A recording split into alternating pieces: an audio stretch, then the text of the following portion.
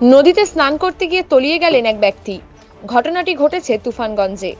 স্থানীয় সূত্রে জানা গেছে, তুফানগঞ্জ পৌরসভার সাত নম্বর ওয়ার্ডের গান্ধীপাড়ার বাসিন্দা ৩৫ বছরের মহাদেব সরকার আজকে ভোর পাঁচটা নাগাদ তুফানগঞ্জ রায়ঢাক নদীতে স্নান করতে নামেন বলে দাবি পরিবারের। এরপরেই স্নান করতে নেমে তলিয়ে যান তিনি। কোচবিহার থেকে সিভিল ডিফেন্সের কর্মীরা ঘটনাস্থলে আসেন ও রায়ঢাক নদীতে অক্সিজেন নিয়ে নেমে জলের তলায় গিয়ে তল্লাশি চালাচ্ছেন।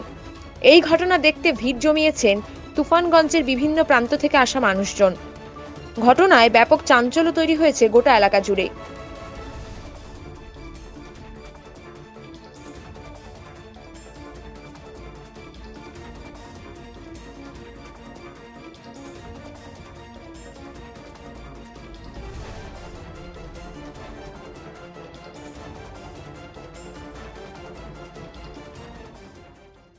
আজকে আমরা কুচবিহার থেকে সিভিল ডিফেন্সের ভলেন্টিয়ার আসলাম, তাতে সকালে শুনলাম নাকি ওই সাড়ে চারটার নাগাদ কোনো এক ছেলে, নামটা ঠিক জানা নেই, তো ও নাকি জলে পড়ে গেছে।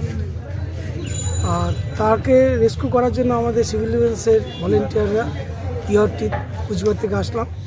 এখনও তল্লাশি চলছে সকাল থেকে।